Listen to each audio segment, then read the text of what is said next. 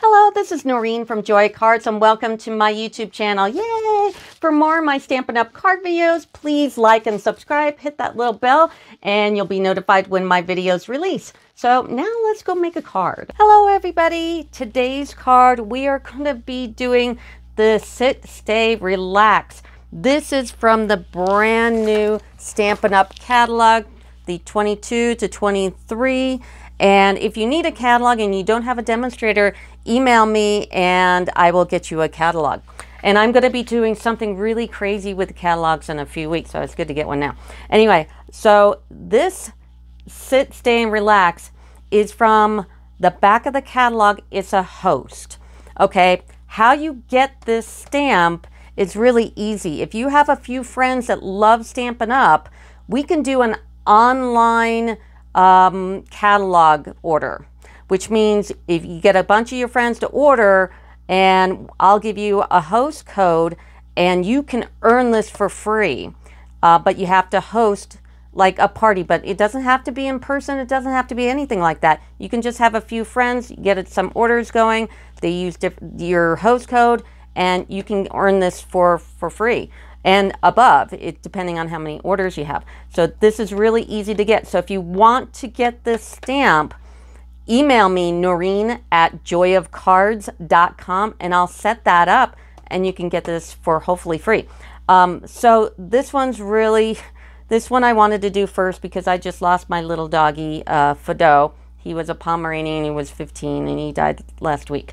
So um, yeah, so I'm, I'm doing this one first. So this is great because I'm going to use a lot of things from the new catalog so you can see stuff before you buy it. So we've got three cards here. Two of them I'm kind of using the same technique. So we're going to make one of these. We're going to make this one. And then this one is completely different and we're going to make this one too. So hold on, let's do some new stuff. So we're going to start with this one here. Now this is the new Starry Sky paper from the new uh, 22 to 24 colors. So five and a half by four and a quarter. And then inside I layered Mango Melody and that's um, 375 by five. And then basic white three and a quarter by four and a half. And then I fussy cut the dog here and I'll show you how to color this in a minute. So, and then we're going to take another Mango Melody, and this is going to be four and an eighth by five and three eighths. Now, all my uh, dimensions, all the products that I've used in all the cards are going to be in the description of my video. So that's when you pull up my YouTube and it has the description right there and it says show more. Click on show more on all of my videos and what comes up is everything. There's no there's no hiding any dimensions. So uh, dimensions, colors, products, everything that I've used is there. So you don't have to like frantically write it down now. Okay, so let's put the card base to the side and now let's start this background here. Now the first thing we're going to do is make this window because we need to have white paper to make this window. And I used welcoming window obviously because that was awesome. And I'm going to take some early espresso and stamp it on some kind of stamping pad here. We have these in the catalog. It'll be in the uh, description of my video. There's also links in my uh, description. You can click on them and you can place an order with me, which is awesome. So I'm going to stamp this up and I'm going to put it right at that corner there. Okay, just like that. And then I'm going to stamp another one on a piece of scratch paper and I'm going to fussy cut it out like so. So you've got your piece here and you've got your extra piece to fussy cut. And then before we go ahead and start the blending on the main piece here, I'm going to grab some Balmy Blue and my water painter here. And this is from this three pack here. And there's a really thin pointy one in there that I really love. So I went ahead and I'm going to be using this. I filled it with water, just get it, get it going. And very, very carefully, and this is why I'm using the pointy one, is you want to fill in the window. So, and try to make one stroke if you can, all the way up. And do not hit the early espresso. So when you first start with the water painter, is going to have a lot of water on it. So try not to get it close to um, their early espresso. So I'm going to very, very carefully fill this all in. So I'm going to do that and I'll be right back. Now that you've filled in your window, and this will get lighter with time because it's, you know, it's been watered down. So we're going to go ahead and mask this window onto our piece here. Now I'm using this teal removable Tombow stuff because it does really well when you remove. Now in the new catalog, and I can't get it yet because it's not on the pre-order, they have um, masking papers. So in the future, if you wanted to mask something and you got this die, you can cut it out on the die and it's on this masking paper. You take it off and then, oh yeah, I'm excited for that. I'm going to totally order that. So I'm going to mask this over here just like so. And then I'm going to grab a piece of scratch paper and another blending brush and soft suede. And we're going to do the wall here. And I'm going to tap it off. And I am going to hold down this mask a little bit because sometimes it does move. And I'm going to start swirling in. And you don't have to do all of it, obviously, because we're going to cover it up with the carpet, which is fun. I'll show you that in a minute. So this goes just, don't have to do a lot of it. Just enough to make beige walls. And just like, I think we're about ready. Like so. Now we're going to put down the carpet. And this paper is the new 22 to 24 in color paper. And isn't it pretty? And what's great it's all, the, of course, the in colors, but it's polka dots and stripes and flowers. And boy, I love stripes and plaids. So this is great. And I I just got all these papers and I'm already using them. And I never use my in color colors. It's like, eh, pss, I forget about them and they're not so great. But these are fantastic. And what I do is I also put it in my little uh, little pouch here. This is on, uh, there's a link in my video, an Amazon link, so you can grab it. And then I tape uh, on a piece of cardboard, part of the packaging so I know what it is and everything. And I just stick it in the back here and then put this all in like so. And then it can keep all my little scraps and everything. So this is great. So you're going to cut a piece of the in color and this is going to be two by four. And like I said, all the measurements are in my video. So uh, the description of my video. So you don't have to worry about writing it down. And I'm just going to put, I'm going to install the carpet for the puppy. So just like that. Now we're going to do this little plant because he needed something next to him, I thought. So back to welcoming window, I'm going to take the smallest pot and I'm going to use cinnamon cider and we're going to stamp that one just like that. And then we're going to do the plant. So I'm going to be taking Parakeet Party, a new color from the 22 to 24 in colors. So I'm going to stamp the parakeet. Isn't that a pretty green? That's a pretty green. And then we're going to be taking Sweet Sorbet, on also a new color from the new um, colors. So before you do the flower, kind of line up and make sure you got it where it's supposed to go. And you can look at the box here. So the little three dots are up in the right hand corner. So I know I'm right. And I'm just going to do this hopefully without sticking my head in the camera. And just stamp that like so. Now we're going to die cut our plant here. So I'm going to take the dies from Welcoming Window as part of the bundle here. This is not in the new catalog. So if you want Welcoming Window, you got to order it now because once it's gone, it's gone. And I do at the end of uh, every catalog, I do sell all my retired. So if you're watching this in the future and you want this set, email me and ask me if I still have it and I'll sell it to you. Also, I use magnetic sheets. These are great to put next to your uh, die cutter. So when you're die cutting and you put the die down, it goes back on the mat and not into the table that eats everything. Because, I mean, it could be right in front of you and you could be looking for a half an hour.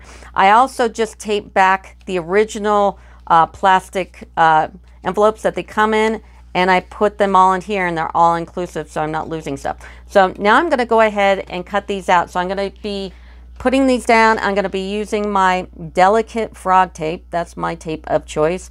And I'm going to tape both of these down and I'm going to cut them out. And here's our cut. So I'm going to take these cuts and I'm going to put them to the side. And now we're going to stamp out the two, the kitty and the doggy here. So I'm going to take these two because this third card is basically the same kind of technique as that one. So we don't need to do that one. So go ahead and stamp these out in Memento. So I went ahead and cut this in half because I don't want to be pushing my hand over anything. Uh, let's start with the kitty. I'm going to just take my basic black Stampin' Write marker. You can get the Stampin' Write marker by itself. Uh, they're like four bucks. The part number is in the description of my video. And the reason why I like this and all the Stampin' Writes is because it has a fine tip on it. So um, it's really nice when you have something small and you're trying to color it in. And I'm just coloring in all the legs. So I'm going to do legs first and I'll be right back. Now I'm going to do the kitty in dark so saffron and on the pointy end and just very carefully do the kitty. And I'm doing the kitty and the doggy first before we color anything because you really want to start with your lightest color. It's, it's, believe it or not, it's just easier. So I'm going to just fill in the kitty in the So Saffron like that. And it's dark. And then I'm going to, for the doggy, I'm going to color him in with ivory. Because he kind of had, it kind of had the most light brown look to it of all the, the colors here. And I'm just going to color him in real quick. And now I'm going to take my light sweet sorbet and just dot that nose so he has a little pink nose. And now we're going to go ahead and do the chair for the kitty. And I'm going to take my light and dark soft succulent. And on the pointy end, I am going to, for the dark soft succulent, I'm going to color in all the leaves on the couch and the stem. Just color in those. And I know we're doing dark first, which makes no sense, but it, yeah, do your dark first. And uh, so yeah, I, I did want to do this because my little puppy died. And if you notice in the intro of my video, where you actually see my face, um, in the background there's a painting of a dog, of a Pomeranian. That's Fido. My sister did that years ago, and I, yeah, he'll always be on my wall. So that is Fido. So anyway, I'm going to color all these leaves, and I'll be right back. So I've got all the dark soft succulents in. Now, if you happen to have a soft succulent Stampin' Write, I would even, the little stems, I would use a pointy end and put the stems. I did a, on a couple of them and it looks so much nicer than if you use this one. But if you don't have it, you know, that's fine. And then we're going to take the light soft succulent and we're going to fill in the rest. Now, the soft succulent is actually going to be retiring in 2023. So we've got another year of this color. But, oh, and I missed one right here. This is a great time to use this Stampin' Write when you see something that's in the corners really small. This is great. Anyway, um, but the colors that are going to be retiring here in uh, May are Cinnamon Cider, which we used on that pot uh, Just Jade, Bumblebee, Magenta madness, Madness, and Misty Moonlight. So if you want those, I would start ordering them now, especially the refills if you want to keep them around uh, because they're gonna, they're going to go away. So um, you definitely want to do that. So anyway, I'm going to color in the background of this chair and I'll be right back. Now I'm going to take my light evening evergreen and do the little swirlies on the arms. And I'm also, when I'm doing this, I'm trying not to cover up the black line as much as I can because it'll just keep it nice and, and crisp. So I'm going to go ahead and color these in. And that's the kitty chair. Now let's do the puppy chair. I'm going to take my light and dark mango melody and I'm going to go ahead and color in uh, every other stripe with each color. So I'm going to do the white stripe in the light and the dark in the dark. So let me go ahead and do the light first. So there's my light stripe and now I'm going to go in with the dark mango melody and go over the dark stripes. And here's my little puppy. Now my dark mango melody was conking out on me, so I used my Stampin' Write. Another reason to use these. So now I'm going to go ahead and cut these out. Now, I'm going to use my Brother Scan and Cut.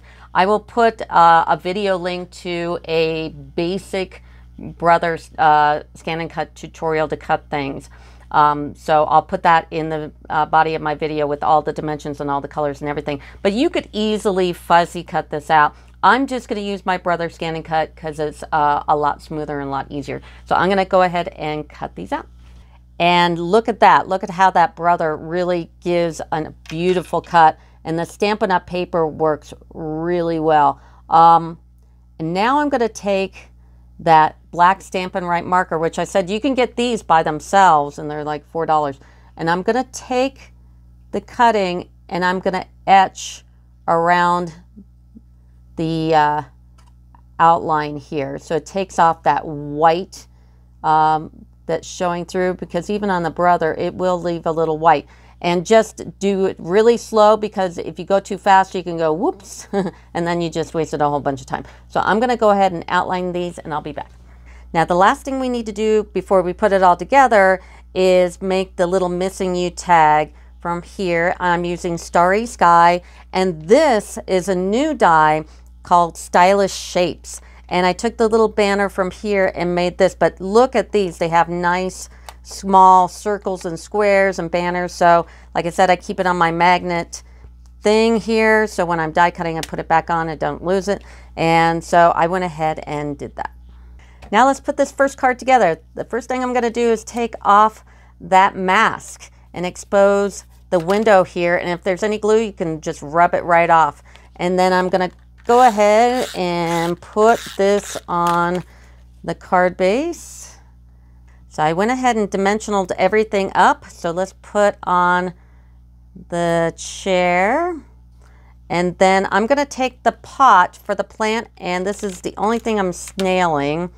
And I'm going to snail this and put it here. And then I'm going to take the flowers and put it on top of there. And then take the missing you and put it up there. So we're finished with the doggy card. Now finish. let's finish the kitty. So let's do the kitty card. The first thing we're going to do is the inside. And I would have already just pre-done it, but I wanted to show you something first. This paper here is new. It's called Perfectly Penciled. And this is what it looks like. So we've got all these really pretty black and white prints. And of course I take all my paper and I put it in this folder and it keeps all the pieces, like if I have scraps and everything. This folder is also in the description of my video. Just click that show more and I'm bringing it down in there. Amazon links for that too. So that's perfectly penciled from the new catalog. And then also from the new catalog is Fabulous Frames. And boy, do I love this one. This is going to come up a lot. This is what I like to call an orphaned die because it doesn't have any coordinating stamp. It's just on its own, just like the one for stylish shapes that I did the little banner on the other card. It's also an orphan stamp. It's just circles, squares, and banners. So I love dies like this. I look for them specifically in the new catalogs because they just help you out with everything and it helps out with this. So I took this die from Fabulous Frames and I made one in black and one in white. And all I'm going to do is layer them. So I'm going to take the black one and snail it up using my silicone craft sheet, which is awesome because it keeps my glass here nice and clean. There'll be a link for that in my video to, or my description as well. And you can click on it and place an order. So here is the black one. And then I'm going to take a white one and just inlay it here in the middle for the sentiment. So, and then I can just use these for another project. Now I'm going to take that perfectly penciled again, and this is four by five and a quarter, and I'm going to take that same frame and I'm going to die cut it about here. I'm going to give myself some room for the sentiment tag on the bottom. So I'm going to go ahead and die cut this. And this is what you get. You get the uh, piece here and then you get two of these so it does an outline and a middle so we don't need these so we can put these to the side and use it on another project and go ahead and snail this up onto the card now I'm going to make this frame now these two cards are similar in this technique. So this DS paper, which is part of Sun Prints, which is new. So it's the back side of one of the blueprints and they have all kinds of beautiful colors in here. And of course I put it in my folder so everything is nice and I can keep all the pieces. So it's the same basic thing. You cut this piece just like we cut this one. Now I'm going to do the frame and I'm going to be using the foam adhesive sheets. And I'm going to take a piece because they come in little squares and I'm going to cut this square three inches by four and a half inches. So I'm going to go ahead and cut this. So I went ahead and when I cut this, I cut it on my uh, Stampin' Up! cutter one side and then I turned it over and cut the other side and then it'll come right off. Now I don't have to cut the length if I don't want to, but I'm just going to just leave it. So I'm going to take off this side here and I'm going to put my gold foil right on top. Okay, and then I'm going to grab that frame again here and I'm going to uh, cut it out. The next thing we're going to do is make this wallpaper background behind the little picture here. And you can do this two ways. You can either cut a piece of that sun prints, which I showed you on this card here, or you can die cut it with a frame and inlay it. So either way is fine. If you cut it, and like I said, all the dimensions are in my uh, description of my video. It's two and a half by three and a quarter. So I'm going to take my snail and snail that and put it right in the middle like so. And make sure, don't do what I did. You got to make sure the wallpaper is going in the right direction. There you go. And now I'm going to take my frame. So we made this frame. You're going to take off the back peel of this and we're going to line this up. I might have to stick my head in the camera. Sorry, because I want it to be perfect. This is why you put the gold on the um, foam adhesive uh, sheets because it this thing is kind of um, thin and wildly so um, to put the gold on top of the thing after you cut it, yeah, be a nightmare. So I'm going to take a minute and get this on perfectly straight. Okay, now you're going to take the little tag from the uh, Fabulous Frames and you're going to cut this out in So Saffron just like the kitty is and you're going to stamp Starry Sky missing you. So that's how we do the tag.